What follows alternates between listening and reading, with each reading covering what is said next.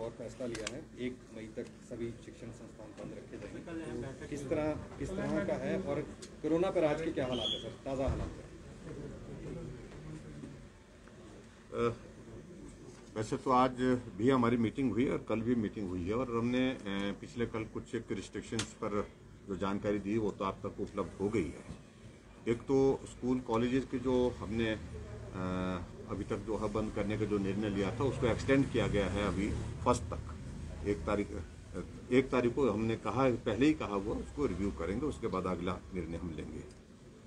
और दूसरा निर्णय हमने आज, कुछ और निर्णय लिए हैं, उसकी डिटेल मैं समझता हूँ कि आपको उचित होगा कि वो आपको उपलब्ध हो जाएँगी। उसमें प्रमुख रूप से एक तो शादियों पर अब सिर्फ़ सिर्फ़ पचास ही लोग, पचास से ज़्यादा लोग अब किसी सूरत शादी अंदर हो, हॉल के, चाहे बाहर हो, इस बात को सुनिश्चित किया है क्योंकि मामलों में बहुत तेज़ी से जो है वो इंक्रीज देखी हमने पिछले दिनों। पिछले कल तो सतारह सौ मामले हिमाचल प्रदेश में रिकॉर्ड में आए हैं और उसमें तेरह लोगों की दुखद मृत्यु भी हुई है। और उसके बाद सोशल गैदरिंग्स पर भी हमने बिल्कुल अब रिस्ट्रिक्शन लगा दी फ़िलहाल। और पहली तारीख तक उसके बाद उसको रिव्यू करेंगे, उसमें भी पचास की ही संख्या रहेगी। फ्यूनरल पर भी वही संख्या रहेगी। और उसके बाद एक और निर्णय हमने जो आज लिया है, वो निर्णय ये लिया है कि कि जितने हमारे वर्किंग डेज़ होते हैं इसमें, उसमें सैटरडे संडे जो है वो हमारे वर्किंग डे नहीं होंगे, बंद होगा। सैटरडे और संडे को बंद रहेगा। हमारा कामकाज सारी, सारे सरकारी ऑफ़िस भी। ऑफ़िस में जो अटेंडेंस विद 50 परसेंट ये भी हमने तय किया। ट्रांसपोर्ट सेक्टर में जो है, पब्लिक ट्रांसपोर्ट भी 50 परसेंट के साथ चलेगी। और जैसे मैंने एजुकेशन, इंस्टीट्यूशन के बारे में तो मैंने फ़र्स्ट मई तक जैसे मैंने आपको जानकारी दी ये उसी तरह से वो रहेगी। और इसके बाद जो जो रिलीजियस गैदरिंग्स हैं, जो पर्टिकुलरली खास तौर से जो हमारे मंदिर वगैरह में अभी तक उसको नवरात्रों तक हमने उसको जारी रखा है। और उसके बाद दर्शन, सिर्फ़ दर्शन। उसके बाद हम अगला जो है वो तेईस तारीख के बाद, तेईस तारीख के बाद हम इस पर पे हो सकता है हमको आगे कुछ और कदम लेकर के जो है उस पर भी पूजा जारी रहेगी मंदिर की, जो नियमित रहती है, मंदिर है, चाहे जितने हमारे धार्मिक संस्थान है संस्था हैं तो उसके अलावा जो है लेकिन लोगों का आना जाने पर हम हो सकता है इस बात को लेकर के निर्णय करना पड़े।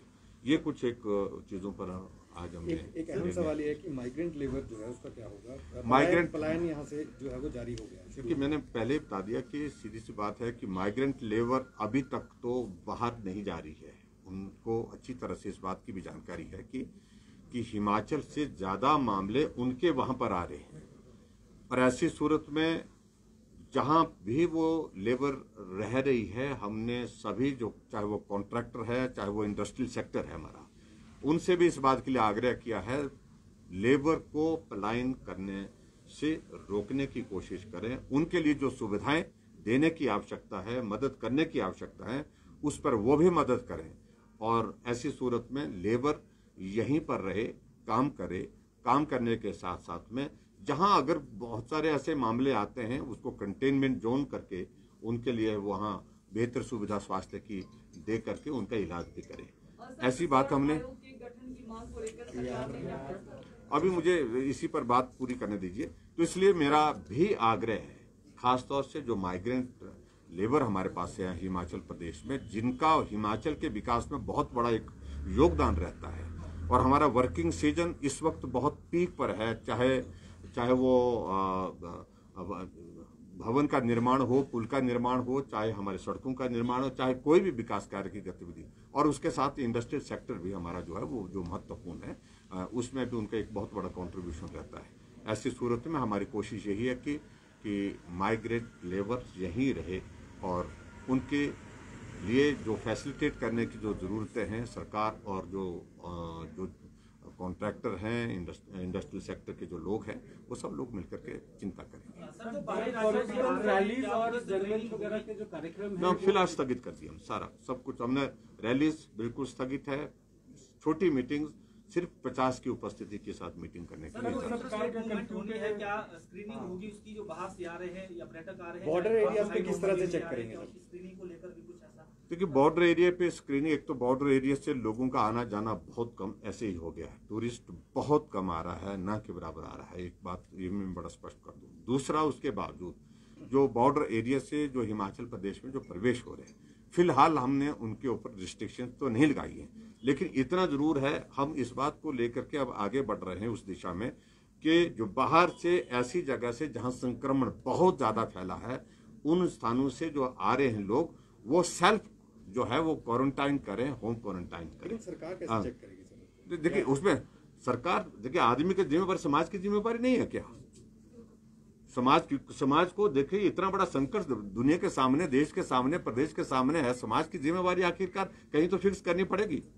ये हमने पिछली बार भी किया है हिमाचल प्रदेश में। हमने बाहर से जो लोग आए उन्हें होम होम क्वारंटाइन किया है। और अब अब तो दस दस दिन दस दस दिन पंद्रह पंद्रह दिन तक होम क्वारंटाइन किया है। और अभी भी हम मैं आग्रह करूँगा निवेदन करूँगा जो बाहर से लोग आ रहे हैं ऐसे खास तौर से ऐसे संक्रमण या तो वो टेस्ट करवाएँ या फिर वो टेस्ट नहीं करवाना चाहें तो फिर उसके बाद वो होम क्वारंटीन करें ताकि संक्रमण को हम रोक सकें। स्टेट्स में जो है वो कर्फ्यू और वीकेंड लॉकडाउन कर दिया गया है। क्या आने वाले समय में हिमाचल में भी इस तरह का देखिए उसमें मैंने कहा कि समय समय पर अभी तक तो फ़िलहाल हमने यहाँ तक निर्णय लिए हैं। उसके बाद आगे की बातें जो सर होंगी इंटरस्टेट बसें फाइनल कर दी गई हैं। कब तक जो है शादियाँ ब्याह और पॉलिटिकल आयोजन हो गए या जो बसों की बंदिशें कब तक रहेगी? नहीं, अभी तो हमने कहा कि एक तारीख को रिव्यू करेंगे। एक सर, एक मई तक तो हमने सर क्या बसें जो है वो इंटरस्टेट मूवमेंट उसकी चलती रहेगी? नहीं चलती रहेगी। चलती रहेगी। सर चल- क्या तीन महीने के अंदर जी। आपके बाद स्वर्ण आयोग का गठन किया जाएगा? देखिए अभी आज उन्होंने अपना पक्ष रखा है। उन्होंने अपनी बात रखी है।